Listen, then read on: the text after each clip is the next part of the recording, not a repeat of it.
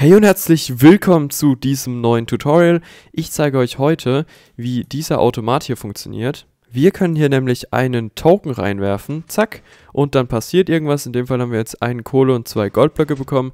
Das ist leider ein äh, Verlust. Damit wir gewinnen, müssen wir nämlich drei Goldblöcke ziehen. Das bedeutet, aus jedem Dispenser muss ein Goldblock kommen. So, wir versuchen das Ganze einfach nochmal. Schade, wir haben leider nochmal einen Kohleblock bekommen noch ein drittes Mal und diesmal haben wir drei Goldblöcke bekommen. Jetzt sollten wir nämlich, zack, hier, ihr habt es gesehen, unseren Gewinn bekommen, in diesem Fall einen Beacon. Das könnt ihr natürlich selber anpassen, was der Gewinn ist. Und damit würde ich sagen, beginnen wir mit dem kleinen Tutorial. Vorweg erstmal, falls ihr das Video bzw. Tutorial zu dem Token-System hier nicht gesehen habt, also falls ihr nicht wisst, was das hier ist, klickt mal jetzt rechts oben auf das i und schaut euch dieses Video zuerst an. Das ist nämlich Grundlage für dieses und alle weiteren Tutorials zu den Spielautomaten. Kommen wir nun zum eigentlichen Spielautomat. Ich zeige euch mal ganz kurz hier hinten die komprimierte und fertige Version von mir, falls ihr dazu übrigens ein Baututorial sehen wollt. Also es ist ja schön und gut, dass ich euch das erkläre und ihr verstanden habt, wie das funktioniert. Aber falls ihr hier so eine komprimierte Form haben wollt, dann schreibt das mal unten in die Kommentare. Dann werde ich nochmal ein eigenes Video dazu machen, wo ich diesen Automaten quasi äh, aufbaue und ihr könnt ihn einfach nachbauen. Wir beginnen allerdings zuerst mit dieser etwas größeren Version, da habe ich es nämlich einfacher euch das zu erklären und ihr werdet es leichter verstehen. So, zuallererst gucken wir erstmal, wir brauchen nämlich den Output, das kleine Stromsignal, von dem ich in der, in der Token-System-Folge ganz oft gesprochen habe. Und der ist nämlich hier vorne bei dieser roten Wolle. Dieser kleine Output wird nämlich benötigt, um hier vorne den ganzen Mechanismus anzusteuern. Und wir schauen als allererst mal, wo das Signal hingeht.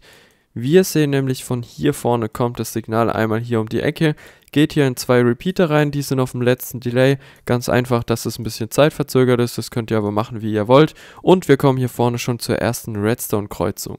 Zuallererst gehen wir mal nach oben, also geht hier einmal die Redstone-Leitung bis nach oben, verläuft hier über die Blöcke, bepowert damit die Dropper, die dann eben entweder einen Goldblock oder einen Kohleblock ausspucken. Sollten alle drei äh, die Goldblöcke ausspucken, dann hat man eben gewonnen. Das ist quasi der erste Teil von diesem Automat. Kommen wir nun zum zweiten Teil und zwar dem Auffangmechanismus. Die Gold- und Kohleblöcke müssen nämlich aufgefangen und ausgelesen werden. Der Automat soll ja schließlich erkennen, ob drei Goldblöcke oder nur ein Kohleblock und zwei Goldblöcke, also im Endeffekt ob ein Gewinn oder ein Verlust da ist. Dazu verfolgen wir als allererstes mal hier die andere Kreuzung. Hier sind nämlich auch drei Repeater auf dem letzten Delay und hier, die gehen in eine Redstone-Fackel, die aktuell an ist und die Trichter hier vorne sperrt. Ich zeige euch jetzt mal ganz kurz, was passiert, wenn wir da ein Signal draufsetzen. Zack, ihr seht, hier geht ein Signal durch. Ihr habt gesehen, die Redstone-Linien hier sind einmal ganz kurz ausgegangen und direkt wieder an. Das lag daran, dass die Fackel kurz deaktiviert war. Ich erkläre euch jetzt, warum wir das Ganze machen, denn hier vorne kommen ja die Gold- bzw. Kohleblöcke raus. Und damit die eben liegen bleiben, müssen wir die Trichter bepowern. Ist nämlich ein Trichter bepowert, dann lässt er das Item, das von oben kommt, nicht reinfallen. Das bedeutet, dieser Glasblock bleibt jetzt so lange darauf liegen, bis er entweder despawnt oder wir hier hinten das Redstone-Signal kurz ausschalten. Ihr seht, der liegt immer noch drauf. Ich habe jetzt hier mal einen normalen Trichter hingesetzt. Sollten wir hier irgendeinen Block reinwerfen, ihr seht, der ist direkt weg. Und das Ganze hat den folgenden Hintergrund. Wir wollen ja sehen, ob wir gewonnen oder verloren haben. Und wenn die Blöcke, die da rauskommen, direkt wieder eingesammelt werden, kann man ja gar nicht richtig gucken, ob da jetzt drei Goldblöcke waren oder nicht. Dementsprechend haben wir ein ganz kurzes Signal, das eben diese Blöcke hier kurz liegen lässt dann kurz ausgeht, die Blöcke gehen in die Trichter rein und die nächste Runde könnte beginnen. Nun haben wir den oberen Automaten verstanden und kommen zur untersten Ebene. Die unterste Ebene checkt einfach, ob hier drei Goldblöcke sind, also ein Gewinn. Wenn ja, dann sendet ihr ein Redstone-Signal an einen Dispenser aus. Der kann eben dann in dem Fall Diamanten oder auch Beacons oder sonst irgendwelche Gewinne rauswerfen. Und dazu schauen wir jetzt erstmal, was hier unten passiert. Wenn nämlich ein Goldblock oder ein Kohleblock hier oben in den Trichter reinfällt, haben die zwei Möglichkeiten. Der Kohleblock wird hier einmal rechts rumgehen nach unten und in die Kiste und der Goldblock, der nimmt den kleinen Abstecher hier in diesen Trichter. Hier können nämlich nur Goldblöcke rein. Sollte also hier ein Goldblock drin liegen, wird der nach hier unten gezogen. Diese, dieser Mechanismus erkennt quasi, dass hier ein Goldblock drin ist, lässt den hier weiter durch und in die Kiste wandern. Ich erkläre euch jetzt, was genau hier passiert. Und zuallererst möchte ich mal erwähnen, dass wir genau diesen Mechanismus, wenn wir das hier jetzt mal ignorieren, genau diesen Mechanismus haben wir schon im Token-System gebaut, dementsprechend sollte das manchen schon bekannt sein. Und zu dem Output hinten komme ich gleich nochmal. Ihr seht, wir haben hier unten eine Redstone-Fackel. Diese Redstone-Fackel sorgt dafür, dass diese beiden Trichter hier gesperrt sind. Das bedeutet, ich habe ja schon erklärt, wenn Redstone auf einen Trichter einwirkt, können keine Items durchrutschen. Das ist genau hier der Fall. Sollten allerdings genügend Items in diesem Trichter sein, ich demonstriere das jetzt mal ganz kurz, erkennt das dieser Komparator, sendet ein Redstone-Signal bis hierhin. Dieses Redstone-Signal äh, wird hier weitergeleitet in diesen Repeater und der macht die Fackel aus, sodass die Items durchrutschen können. So haben wir immer eine bestimmte Anzahl, in diesem Fall 18 und 4 Blöcke, also 22 Blöcke in einem Trichter. Sollte ein 23. Block hier reinfallen, rutscht er dann quasi durch, weil die Fackel hier ausgeht. Dieses Prinzip wird auch verwendet, um beispielsweise Items zu sortieren bei automatischen Lagern und so. Vielleicht kennt ihr das daher. Und wir schauen jetzt erstmal, wohin dieser Repeater bzw. das Redstone-Signal hier weitergeht.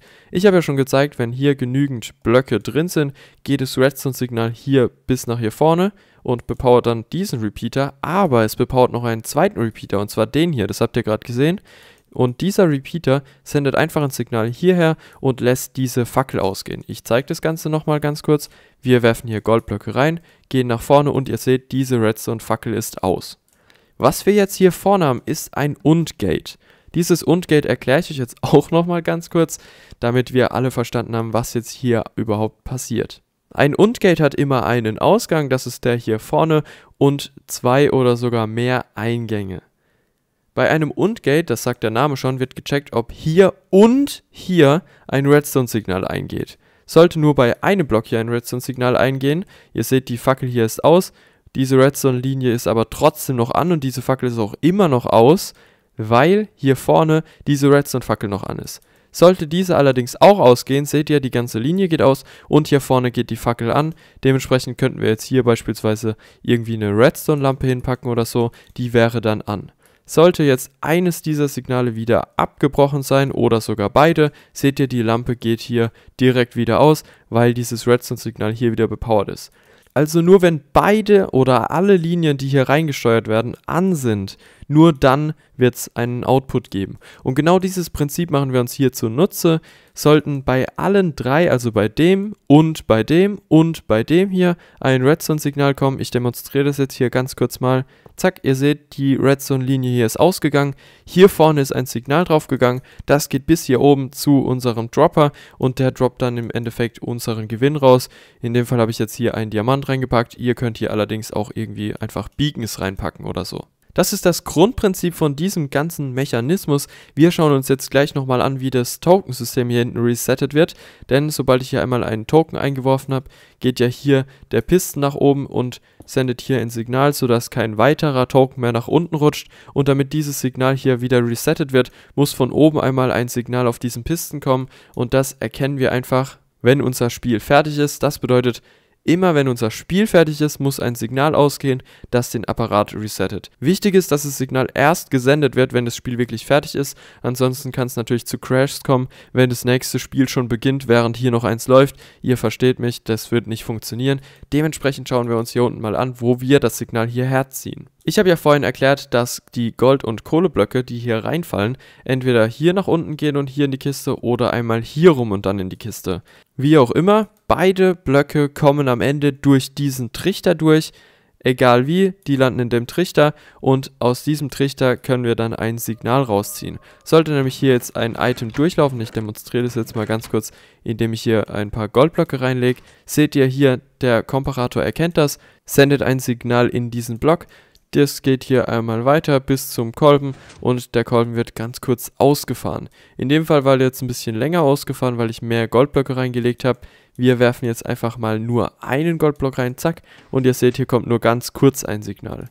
Ihr fragt euch jetzt bestimmt, warum das hier so einfach in den Trichter gegangen ist, obwohl die doch gesperrt sind. Ich habe hier hinten ganz kurz die Redstone-Leitung mal gekappt. Jetzt habe ich sie wieder hingebaut. Jetzt seht ihr, wenn ich einen Goldblock drauf werfe, der bleibt wieder darauf liegen. Ich habe es im Token-System-Video schon mal erwähnt. Ihr könnt, wenn ihr das Ganze jetzt hier verstanden habt, das Tokensystem auch an Casino-Automaten anschließen, die nicht von mir sind, also die ich jetzt hier nicht erklärt habe, wie beispielsweise den hier. Ihr müsst einfach nur wissen, dass ihr hier einmal einen Output habt, der quasi hier alles Wichtige bepowern muss. In dem Fall hier oben einmal natürlich die Dispenser mit den Gold- und Kohleblöcken und hier unten auch, dass die Trichter kurzzeitig entsperrt werden. Und wir müssen gucken, wann das Spiel vorbei ist, um den Tokensystemautomaten zu resetten. Dabei schauen wir einfach, ob hier ein Item durchfließt. Bei euch könnte das jetzt irgendwie anders aussehen, je nachdem, wie euer Automat eben aufgebaut ist. Da ihr nun das Grundprinzip von diesem Automaten verstanden habt und wisst, wie das hier alles funktioniert, können wir uns jetzt mal an die etwas kompaktere Version wagen. Da sind nämlich noch ein paar Specials drin, die eben auch wichtig sind, damit der Automat auf Servern wie beispielsweise auf Griefer Games oder auch auf anderen Multiplayer-Servern nicht gecrashed werden kann. Das bedeutet, dass irgendein Spieler irgendwas tut um irgendwie ganz viele Gewinne zu bekommen oder so. Solche kleinen Fehler und Bugs wollen wir vermeiden, deswegen erkläre ich euch, was ich hier noch alles hinzugefügt habe.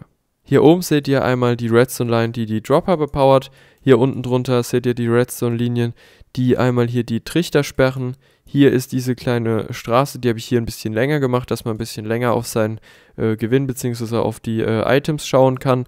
Das geht hier nämlich einmal rein, wandert hier einmal langsam durch, bepowert diesen Block. Dieser Block äh, deaktiviert die Redstone-Fackel und diese Redstone-Fackel deaktiviert hier diese Linie. Dementsprechend können die Items dann kurzzeitig in den Trichter gezogen werden. Das sollte alles soweit bekannt sein. Hier unten haben wir auch nochmal das System mit den äh, Hoppern. Hier sind die Goldblöcke drin. Ich sage euch gleich nochmal, warum die äh, Goldblöcke hier in drei umbenannt sind.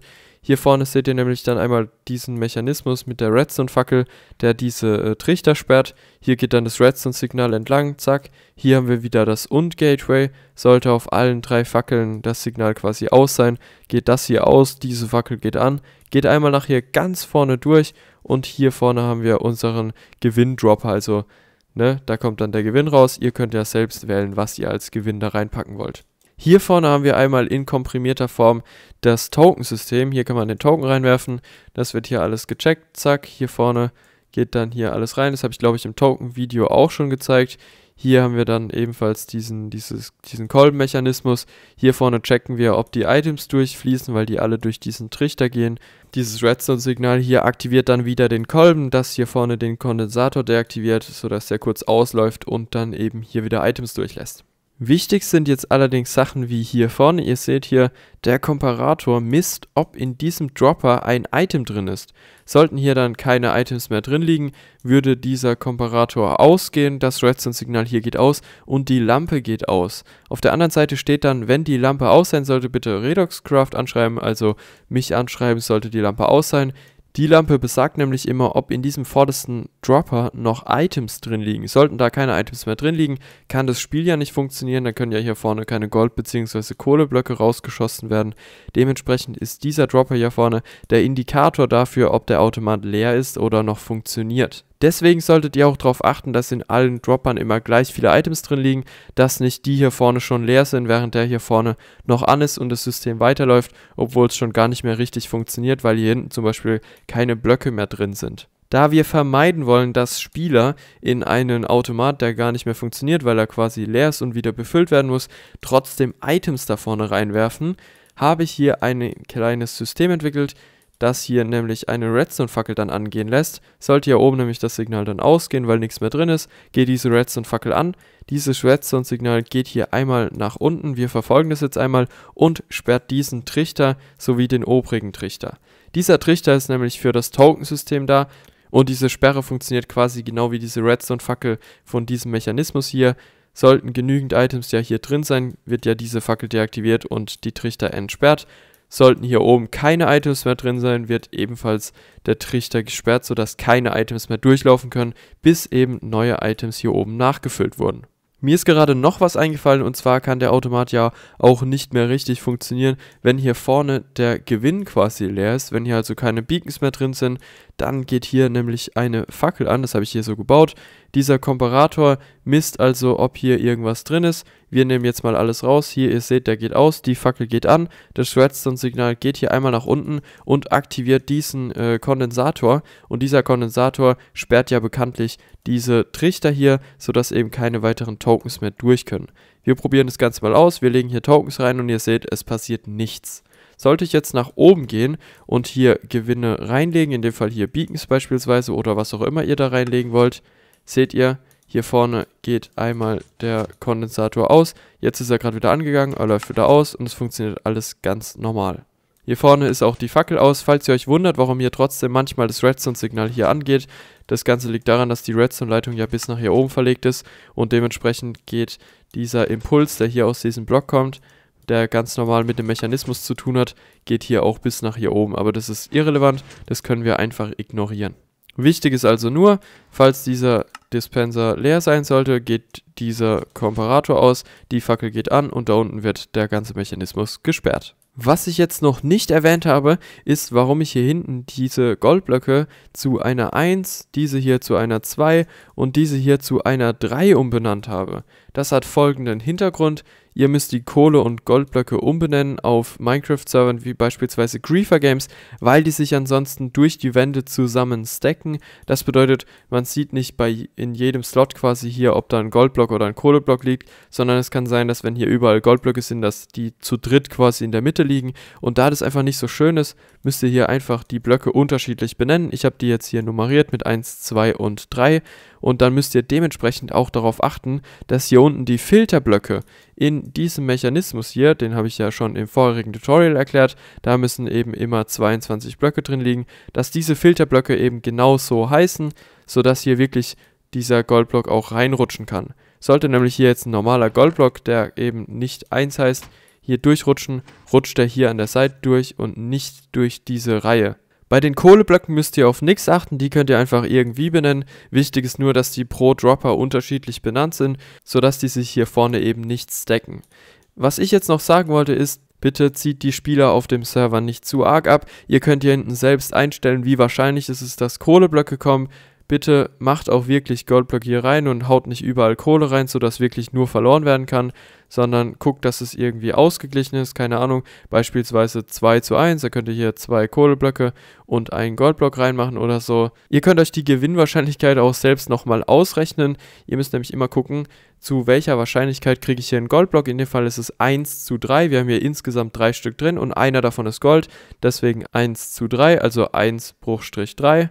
In dem Fall wären es 33,33%. Und das müsst ihr jetzt mit den anderen Droppern multiplizieren. Hier haben wir beispielsweise eine Gewinnwahrscheinlichkeit, wir machen mal hier 1 zu 2, also haben wir 1 zu 3 mal 1 zu 2 mal 1. Das Ganze gibt eine Wahrscheinlichkeit von 1 Sechstel, also in diesem Fall haben wir eine Gewinnwahrscheinlichkeit von 16,66666%. Ich zeige euch das jetzt ganz kurz nochmal hier mit äh, Schildern. Wir haben hier eine Wahrscheinlichkeit von 1 zu 1, das ist im Endeffekt dann 1. Hier haben wir eine Gewinnwahrscheinlichkeit von 1 zu 2, haben wir gesagt. Und hier haben wir eine Gewinnwahrscheinlichkeit von 1 zu 3. So. Wenn wir jetzt 1 mal 1,5 mal ein Drittel rechnen, kommen wir auf 1 Sechstel. Das ist hier unser Ergebnis. Und 1 Sechstel ausgeschrieben, also 1 durch 6, da kommt eine Kommazahl raus. Und zwar, ups, jetzt habe ich aus Versehen mein Schild weggeworfen. Und zwar kommt hier raus 0,1666666. Und im Endeffekt sind das dann 16 Prozent. Um auf den Prozentsatz zu kommen, müsst ihr das dann quasi mal 100 rechnen. Dementsprechend steht dann hier 16,66666 und dann Prozent. Sollte sich im Übrigen mal eure Maschine aufgehangen haben, liegt es meistens an diesem Pisten hier vorne. Dieser Pisten äh, aktiviert ja hier den Kondensator. Ich zeige das mal noch ganz vorne hier an unserem Beispiel.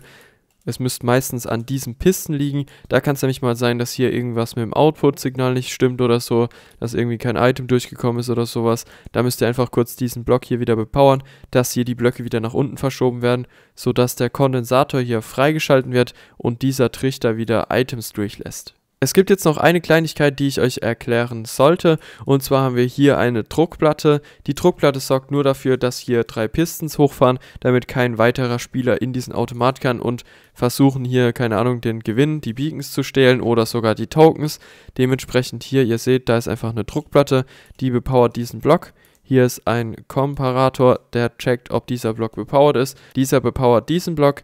Das wiederum die Redstone-Leitung hier bepowert, zack. Das geht hier einfach einmal außen rum, zack, zack, zack, zack, zack, sodass eben am Ende diese drei Pistons hier bepowert sind. Wie ich bereits erwähnt habe, falls ihr dazu ein Baututorial wollt, dass ich mal zeige, wie man das Ganze hier baut, also ich baue das quasi Schritt für Schritt mit euch zusammen, dann schreibt es mal unten in die Kommentare, da mache ich das sehr gerne. Ich hoffe, ihr habt durch das Video jetzt verstanden, wie das Ganze hier funktioniert. Habt ihr noch kleinen, den kleinen Sicherheitsmechanismus hier verstanden. Falls noch irgendwelche Fragen auftauchen sollten, stellt die mir gerne in den Kommentaren. Dort werde ich sie euch auf jeden Fall beantworten. Ansonsten bedanke ich mich fürs Zuschauen. Falls ihr den Automaten nachbaut, lasst doch gerne mal ein Like da, dann sehe ich, wie viele von euch diesen Automat selber nachbauen. Falls ihr weitere Casino-Tutorials nicht verpassen wollt, dann abonniert doch sehr gerne den Kanal. Ich werde auf jeden Fall noch mehr Casino-Tutorials hochladen und ich werde auch eine kleine Serie auf Griefer Games machen, wo wir ein eigenes großes Casino bauen werden. Das werdet ihr dann allerdings alles sehen. Ich wünsche euch wie immer einen traumhaften Tag. Wir sehen uns in der nächsten Folge wieder. Bis dahin, ciao!